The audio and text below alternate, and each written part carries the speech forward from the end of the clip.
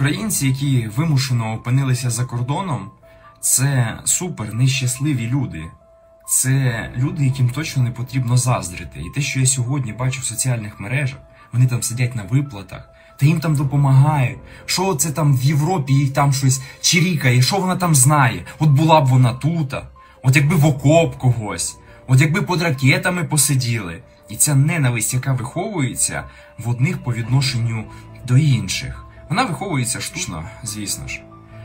Але вона має неймовірно великий масштаб через нерозуміння, що таке вимушена еміграція.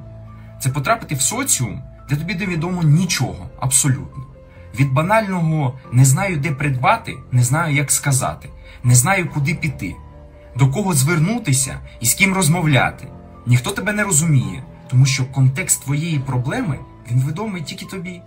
Мовний бар'єр тисне на голову, є нерозуміння подальшого життя. А особливо, коли діти в школі, коли потрібно виховувати маленького на руках, коли потрібна купа бюрократичних довідок, коли кожна проблема глобалізується масштабно. А цих людей, що ви там на виплатах сидите? Так, на виплатах. Люди абсолютно місяцями по півроку не виходять з своїх будинків через те, що сидять в депресіях, тому що складно.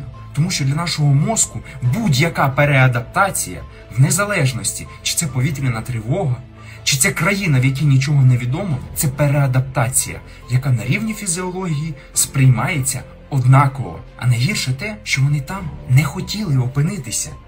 Їм не прийшлося обирати. Знаєте, і в дитинстві нам часто розповідали за родичів, які живуть десь за кордоном.